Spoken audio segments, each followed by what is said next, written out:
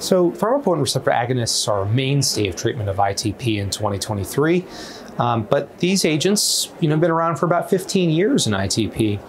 Um, for the longest time, we really had romiplostim and eltrombopag, and we didn't have a whole lot of long-term data.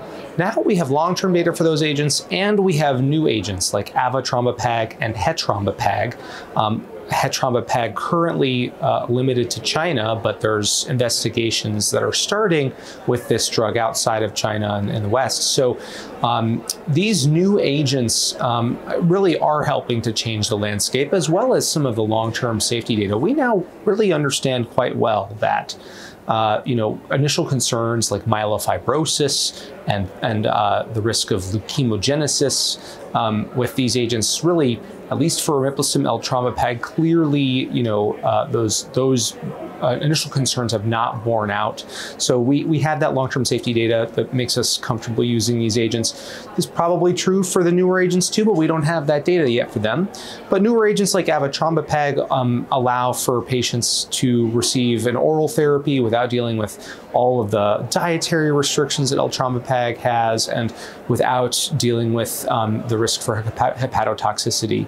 So um, we now have, you know, a number of different options for for ITP patients, and it's important to have a discussion with the patients regarding their you know, uh, preferences uh, for treatment um, and, and finding the right agent for them. Also, we now recognize that, you know, whether we're switching between romiplostim and eltrombopag or eltrombopag and avatrombopag, that the chances of success are quite high with switching, even greater than 50% in those patients who did not respond to the first agent.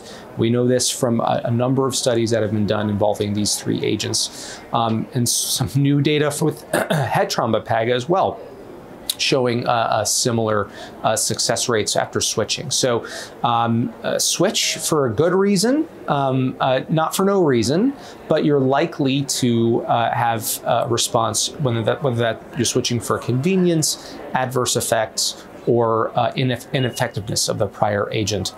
Um, we are also recognizing now with the, with the question of tapering of thrombopoietin receptor agonists uh, to try to induce a sustained response off treatment and sort of irrespective of the study, and all of these have been done with eltrombopag or romiplostim, we have about a one-third chance of success on average um, to get the patient into a sustained response off treatment. In other words, an acceptable platelet count, not necessarily a normal platelet count, so I use the word response rather than remission, um, off treatment without any uh, ITP-directed treatment after tapering off. Those patients that have been on a TPO receptor agonist for a, a year or longer who regularly maintain a count of above 100,000 are good candidates uh, to try this.